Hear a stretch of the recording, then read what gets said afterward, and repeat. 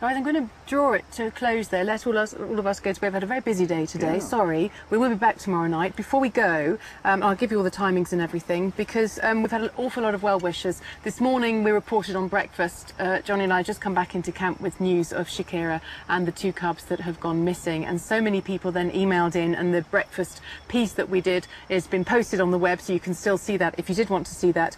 Um, it's called Tears at Breakfast, and uh, the thread has been, uh, Craig has written in, I really, really hope the three remaining cubs survive now. It's not impossible. Kike's three cubs survived, Honey's three cubs survived. I just really, really, really hope that Shakira can make it a big cat diary hat trick for the cheetah moms. So message to the cheetah team, next time you get close enough, tell Shakira that all of us on this message board love her and are wishing her all the best. That is lovely. Yeah, That's really what a, what a nice. nice sentiment. Craig, thank you so Thank you. much for that. Thank you very much indeed. It means so much to get all of your emails. It's our contact with you back home and, and what you're making of the programme and what questions you want to put to the guys. So we really do welcome your thoughts and your well wishes at all, uh, as well. Um, this is Big Cat Raw. We'll be back tomorrow night after the programme again. We're on uh, tomorrow night, BBC One, 8 o'clock. The web, of course, uh, you can got all the webcams. You can watch a choice of those. They're live 24 hours a day. They're manned for, for most of that, actually, 24 hours and every day. Uh, that's it. Have I said everything? Yeah, the live lion cams are on still for a few hours yet. The boys are out there. They're still out We're there. going to bed, but they're out there. Yeah,